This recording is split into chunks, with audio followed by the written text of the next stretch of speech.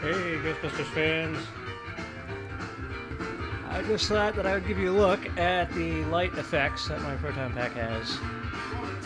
Because still pictures do not give you an idea of what it looks like. Um, they're not in sync, but uh, and the, pattern changes over time, but it's uh, pretty impressive to people that don't know what it's supposed to look like. So, might as well give you a look at the rest of the pack while I'm at it. Use a little more light in here.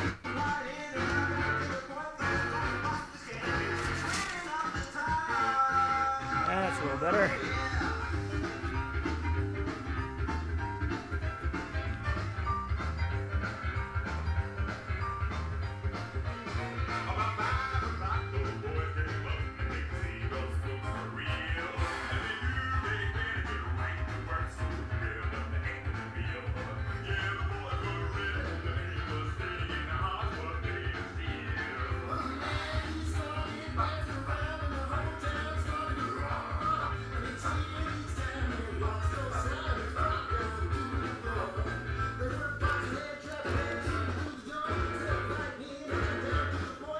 I'm not sure if you can see it, but there's a uh, ejector bracket in there. I didn't actually get a photo of that before.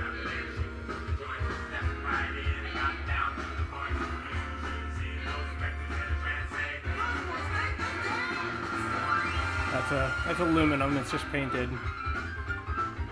I didn't have a chance to remove any of the paint to weather it. The little red sticker down there. If you uh, watch the first movie, you'll see that they have a red sticker there instead of the uh, foil one that they have in the second movie.